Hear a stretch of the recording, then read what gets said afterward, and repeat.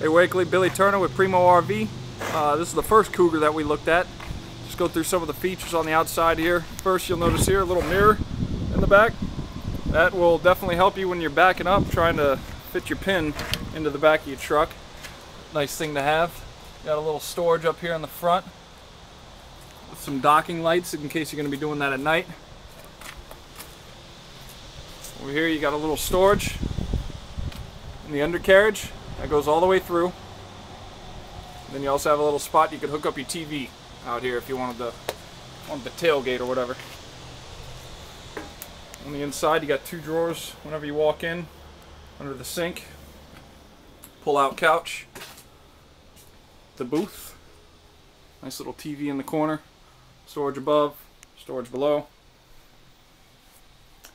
Got the fridge, microwave, three burner stove, oven, storage above that, and also below it. Here's the bunk room.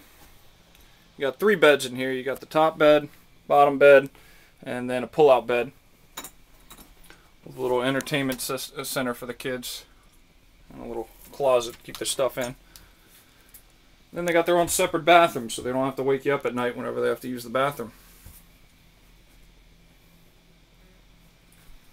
Alright.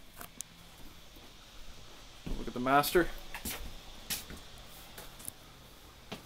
Then you got all this storage walking into the bedroom. Pantry on the side. Got your closet that's a slide out. Queen size bed.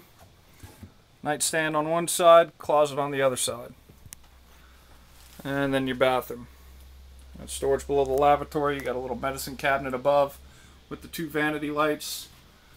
Stand-up shower. And a porcelain foot flush toilet. Porcelain will stay cleaner than the plastic, if you're wondering why I said that. Alright, this is the uh, 293 Cougar.